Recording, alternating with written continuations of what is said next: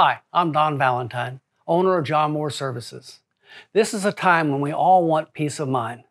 So if you need an AC, plumbing, or electrical repair, John Moore can help. We won't charge you for professional advice. We'll find the problem and give you an honest explanation of the work to be done.